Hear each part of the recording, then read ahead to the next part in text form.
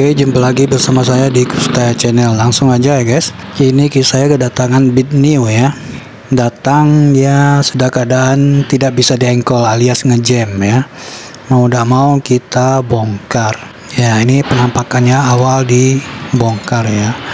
Setelah mendapat persetujuan dari pemilik motor.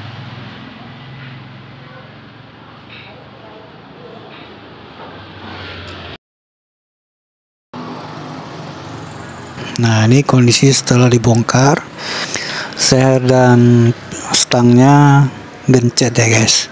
Jadi gak bisa bergerak alias ngejam karena faktor tidak ada oli di dalam mesinnya. Kekeringan oli ya. Makan oli atau kekeringan oli atau lupa tidak ganti. Nah itu intinya ya guys. Jadi itu yang menyebabkan motor ngejam di tempat ya. Cat tidak mau digerakkan nah ini blok sehernya tegores parah ya tuh. Kelihatan ya tegores parah nah ini mau tidak mau kita turun mesin total ya guys. Nah ini penampakannya.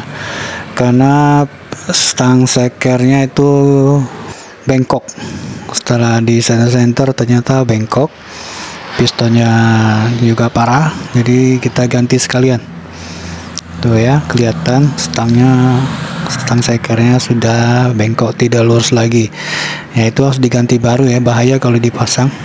Nanti sia-sia akan merasap kembali ya guys. Jadi kita bongkar total.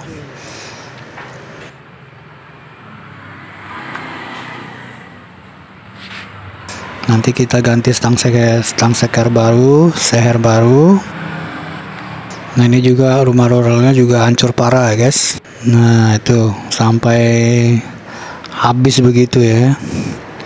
Kemudian nih rollernya sampai gepeng hancur.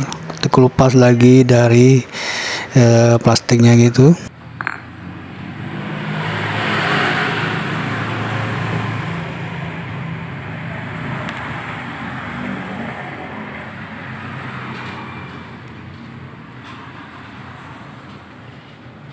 jadi kalau punya motor dirawat ya guys. Servis rutin pelumasnya diganti rutin tiap bulan. Nah, ini juga plat kampas gandanya sudah kena juga. Nah, ini pambelnya juga retak ya. Jadi kalau punya kendaraan metik apa pun mereknya oli harus rutin ya guys. Itu yang utama. Agar tidak terjadi ngejam di tempat ya guys. Saat jalan ngejam habis oli kekurangan oli. Ya itu yang menyebabkan motor ngejam di tempat. Ya gara-gara hal sepele ya guys. Padahal sepele cuma oli tapi bisa berakibat fatal seperti ini. Mesti bongkar total ya guys. Mau nggak mau ya. Oke jangan lupa di subscribe like share dan klik gabung. Jangan lupa tap lonceng untuk mengikuti dan mendapatkan video gratis dari saya. Oke salam Kusta channel. Makasih sudah nonton